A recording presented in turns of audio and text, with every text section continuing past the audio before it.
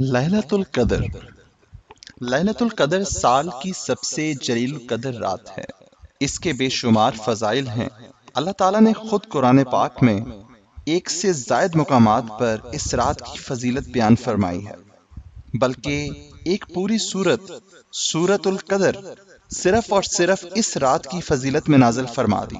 इस रात के चंद फजाइल, इसमें कुरान करीम नाजिल हुआ।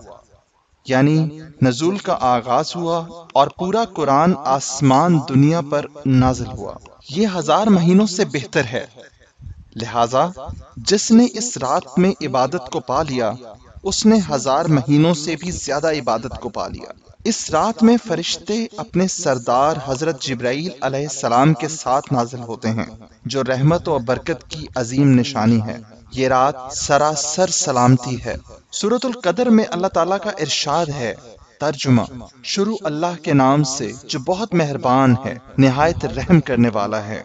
बेशक हमने इस कुरान को शब कदर में नाजिल किया, और तुम्हें क्या मालूम कि शब कदर क्या चीज़ है? शब कदर एक हज़ार महीनों से बेहतर है। इसमें फरिश्ते और रूह, यानी जब्राईल सलाम अपने परवरदिगार की इजाज़त से हर काम के लिए उतरते हैं।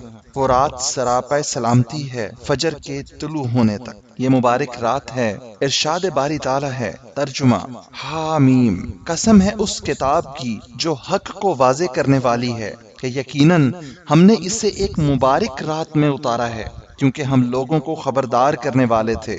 सूरतुल दखान। इसमें पूरे साल की तकदीर या तमाम मामलात के फैसले लोहे महफूज से निकालकर फरिश्तों को सौंप दिए जाते हैं। अल्लाह ताला का इरशाद है। इसी रात में हकीमाना मामला हमारे हकीम से तय किया जाता है या तकसीम किया जाता है। सूरत दखान।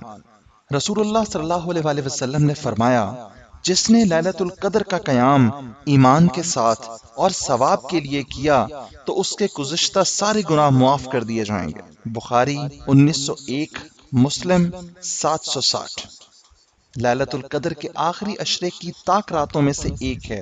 अबू सईद खदरी रज़ी की लंबी हदीस में नबी करीम वसल्लम ने इरशाद फरमाया, इसे आखिरी अशरे की ताक रातों में तलाश करो। यही बात दीगर साहबा ने भी नबी करीम वसल्लम से नकल की है। नीज मुख्तलिफ़ रवायात में इन ताक रातों में से कुछ तखसीस भी आई है। और तमाम रिवायात को जमा करके बाज इस नतीजे पर पहुँचे हैं कि लैलतुल कदर आखिरी अशरे की ताक रातों में मुंतकिल होती रहती है। लैलतुल कदर की फजीलत का हसूल महज जाग कर नहीं हो सकता। महज जाग कर रात गुजारना तो इस रात का जिया और नाकदरी है।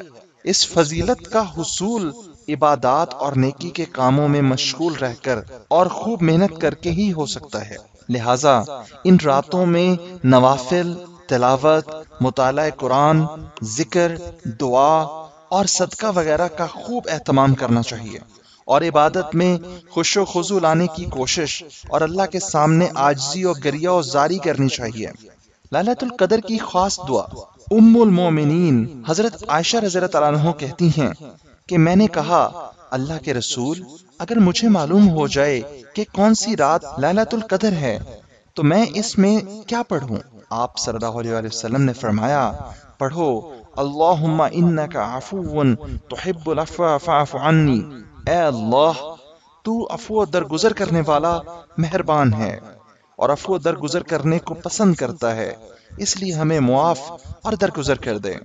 तरमजी तीन हज़ार पाँच सौ तेरह।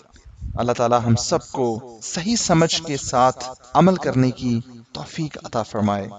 आमीन सुम आमीन। अगर आपको हमारी ये वीडियो पसंद आई है तो इसे लाइक और शेयर ज़रूर करें और हमारे चैनल को ज़रूर सब्सक्राइब करें और बेल आइकन को लाजमी प्रेस करें ताकि क्योंकि टीवी की आने वाली मज़ीद बेहतरीन वीडियोस आप तक पहुँच सकें।